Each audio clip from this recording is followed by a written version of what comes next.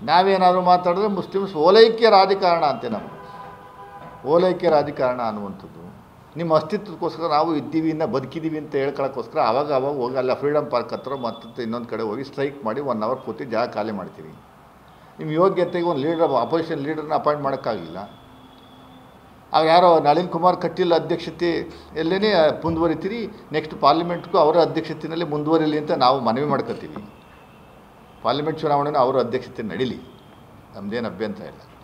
ಆದರೆ H D Kumaraswamy ಅವರಿಗೆ ನಾನು ಒಂದು ಹೇಳ್ತೀನಿ. ದಯಮಾಡಿ ಕುಮಾರಸ್ವಾಮಿ ಅವರೇ, ನೀವು ಡಿ ಕೆ ಶಿವಕುಮಾರ್ ಅವರಿಗೆ ಬೈದಷ್ಟು D K Shivakumar is becoming top leader is emerging as ಭಾಳ ಎಫಿಷಿಯೆಂಟ್ ಎಫೆಕ್ಟಿವ್ ಲೀಡರಾಗಿ ಎಮರ್ಜ್ ಆಗ್ತಾ ಇದ್ದಾರೆ.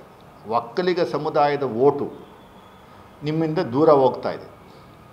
ಒಕ್ಕಲಿಗ ಸಮುದಾಯ ಇವತ್ತಿನ ಇವತ್ತಿನ ಪರಿಸ್ಥಿತಿನಲ್ಲಿ ಲಾಸ್ಟ್ ಅಸೆಂಬ್ಲಿನಲ್ಲೂ ಚೂ ಪ್ರೂವ್ ಮಾಡಿದ್ದಾರೆ. They are at they are being attracted by D K Shivakumar so ಅದು ನಿಮಗೆ ಸಹಿಸ್ಕೊಳಕ್ಕಾಗ್ತಾ ಇಲ್ಲ.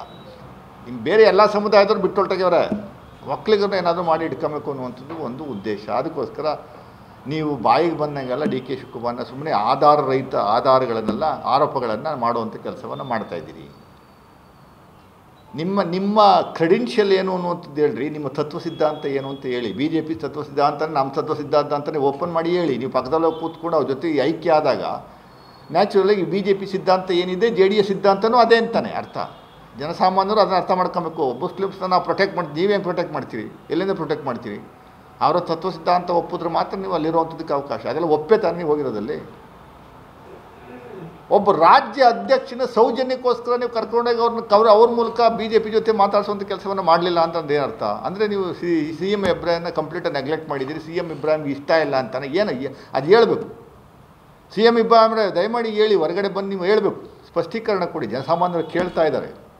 ನಿಮ್ಮ ನಿಲುವೇನು ಅನ್ನುವಂಥದ್ದು ಹೇಳ್ತಾ ಕೇಳ್ತಾ ಇದ್ರೆ ಕೇಳಿ.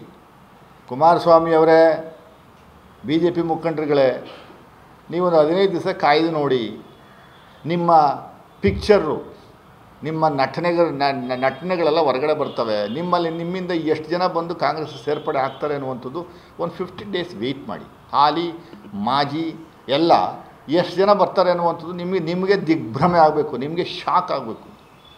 ಆ ಥರ ಅಲ್ಲಿ ಅದೇ ಪರ್ಟಿಕ್ಯುಲರ್ ನಂಬರ್ ಹೇಳುವಂಥದ್ದಕ್ಕಾಗಲ್ಲ ಮ್ಯಾಕ್ಸಿಮಮ್ ನಂಬರ್ ಬರ್ತಾರೆ. B J P J D S J D essay ಮುಳುಗೋಗುತ್ತೇನೋ ಅನ್ನುವಂಥದ್ದು ಒಂದು ಪರಿಸ್ಥಿತಿ ನಿರ್ಮಾಣ ಆಗಿದೆ.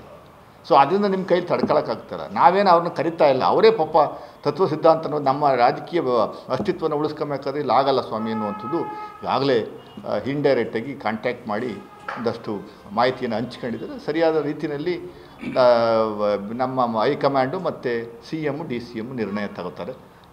ನಿರ್ಣಯ ಮಾಡ್ತಾರೆ ಅಂತ ನಾನು